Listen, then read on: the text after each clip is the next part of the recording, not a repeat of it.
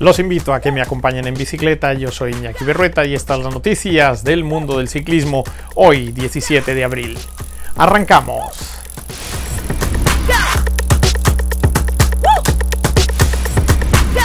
Y lo hacemos describiendo lo que fue la situación de la flecha balona en el día de hoy.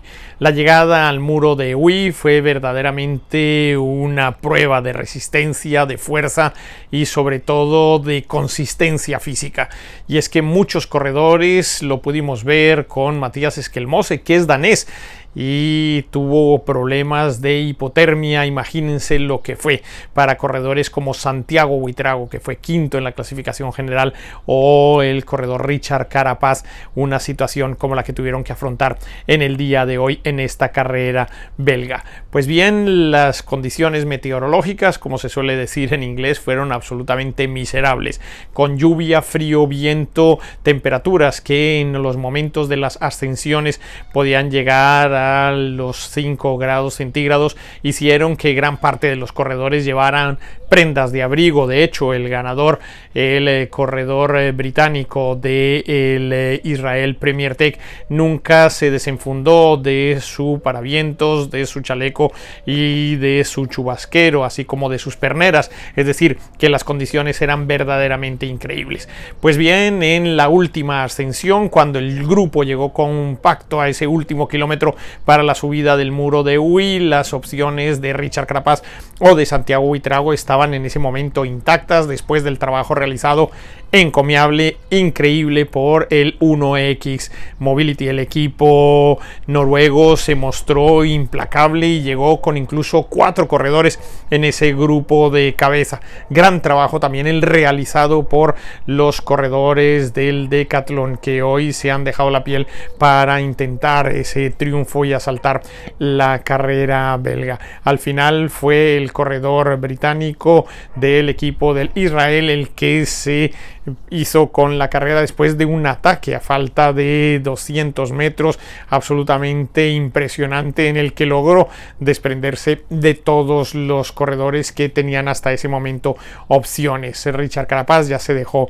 caer, por eso no pudo entrar entre los 10 primeros, lo hizo el eh, colombiano Santiago Huitrago siendo quinto, pero sí es verdad que la situación de esta carrera fue verdaderamente dura, fue una competición en la que se puso a prueba la resistencia física de todos los corredores. Veamos cómo terminó al final la clasificación de esta competición y los detalles de la misma.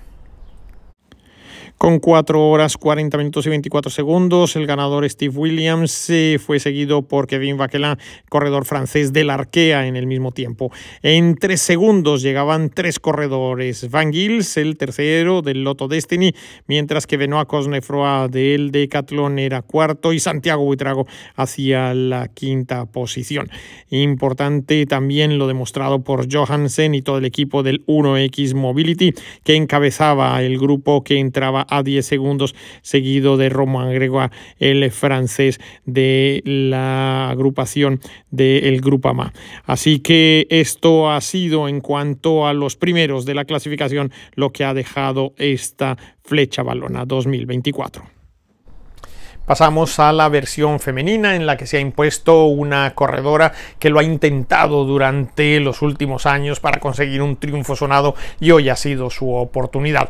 Nadia Neviadoma ha sido la corredora que ha logrado doblegar a Demi Bolerín y a Longo Borgini más o menos con la misma estrategia que utilizó su compañero masculino en la versión eh, de esta flecha balona y es que atacó faltando 200 metros dejando sin posibilidades a las competidoras que en ese momento venían encabezando ese pelotón que llegó relativamente compacto después del trabajo que habían realizado las corredoras del Bisma y por supuesto el que habían conseguido también en el Lidl Trek, que fue el que asumió todo el peso de llevar la captura. Al final, la corredora del Canyon, Neviadoma, la polaca, se hizo con ese triunfo y es eh, un reconocimiento al trabajo bien hecho por esta corredora que siempre ha estado peleando por esos primeros puestos. Veamos cómo fue la clasificación de esta edición femenina de la flecha balona.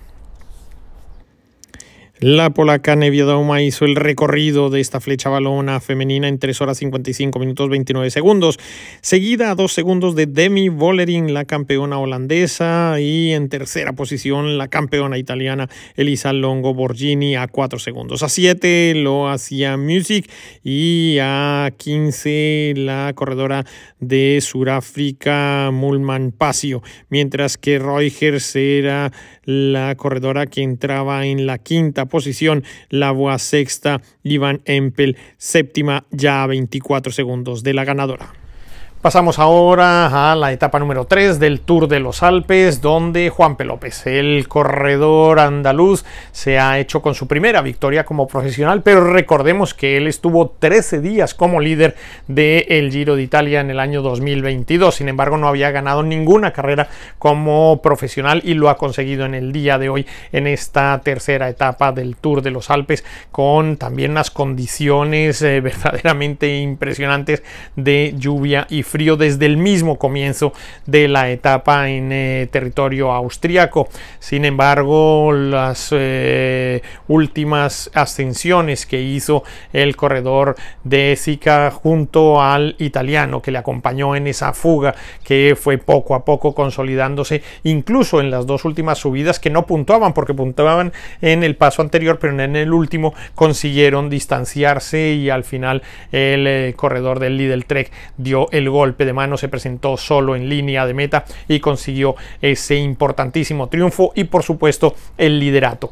Muy interesante el trabajo que realizó el noruego Tobias Foss del equipo del Bisma para intentar enjugar esas distancias que iba cogiendo Juan P. López y al final defendió su segundo puesto en la clasificación general a 31 segundos del corredor del Lidl Trek vencedor en el día de hoy. Veamos cómo fue la clasificación en la que llegó en el puesto número 10 Iván Ramiro Sosa, el corredor mm, colombiano del Movistar, que hizo una muy buena presentación en el día de hoy. Desafortunadamente los compatriotas y latinoamericanos que por el Education First y por el Polti estaban en competencia hoy tuvieron problemas y no pudieron reforzar esa posición que venían manteniendo en días anteriores. Pero veamos, como les decía, la clasificación de la etapa y cómo ha quedado la general a falta de las etapas de jueves y viernes en este Tour de los Alpes.